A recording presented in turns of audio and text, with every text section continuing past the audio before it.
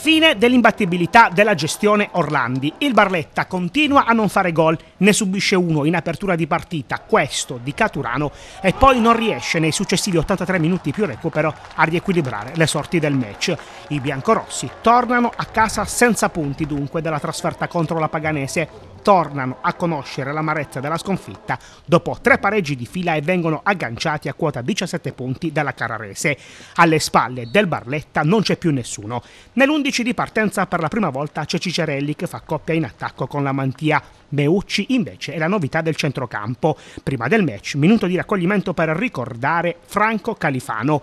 Poi la partita e il vantaggio lampo dei campani. Caturano vince l'1 contro 1 con Burzigotti ed insacca alle spalle di Liverani. Primo gol incassato da quando c'è Orlandi in panchina. Gara subito in salita per i biancorossi che un minuto dopo reagiscono con un calcio piazzato battuto dalla specialista Allegretti. L'esperto Marruocco è attento e riesce a deviare la sfera in corner.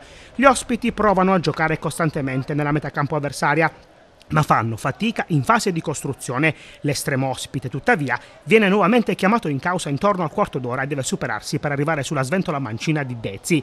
Dalla parte opposta non c'è intesa tra Burzigotti e Liverani.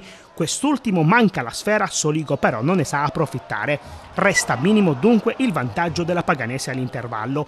Orlandi cambia ad inizio ripresa, fuori Cicerelli dentro Simoncelli. Rischiano gli ospiti quando Girardi colpisce la traversa al settimo minuto. Dentro anche Carlo Carretta al posto di Meucci, poi Calapai per Pippa, il Barletta insegue il pareggio e ha una clamorosa occasione per realizzare l'1-1 nel finale. Molina lavora un buon pallone sulla sinistra, la mantia colpisce di testa indisturbato, ma fallisce il bersaglio. Finisce così 1-0 allo Stadio Torre, il Barletta non sa più vincere, non sa più fare gol e a quattro partite dal termine si ritrova in ultima posizione con i stessi punti di Carrarese e Sorrento. La situazione non è complicata di più.